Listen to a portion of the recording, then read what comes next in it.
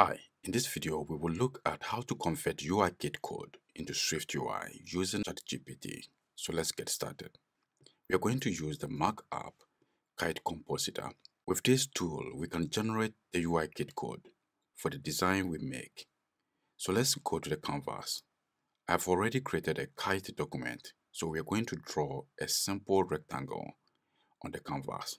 Let's press R to bring the rectangle to so I'll press shift and draw on the canvas. I'll drag the rectangle and then resize it to occupy the whole canvas.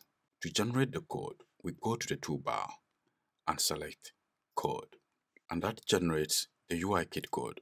This is UIKit code because you can see the import here. So let's select all the code by pressing Command and A and Command C to copy the code. I have already created a SwiftUI project for this. So let's add one file. By selecting the SwiftUI app, I will control click and add a new file and press next. We will call this layer view, which is the same name in the kite document. You can see here we have layer view. Next, we need to use ChatGPT to generate the SwiftUI code. I still have the UIKit code generated from Kite in the clipboard. So let's put convert to SwiftUI and paste the code. Then we send and wait for a moment. So we get this result. Here is the equivalent code in SwiftUI. So let's wait for a while and then copy the code. It created this Z stack and set the background and here we have the actual rectangle we drew on the canvas in Kite. Let's copy everything and come to the SwiftUI project.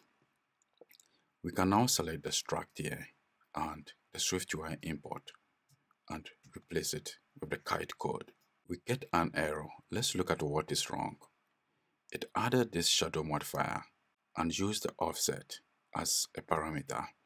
So this is wrong. We can remove that when we add shadow, we can use the radius instead and set the shadow radius to, for example, 5. And that brings the rectangle we drew in Kite into the SwiftUI project. So this is how you can convert UIKit code into SwiftUI code using ChatGPT. Thanks for watching.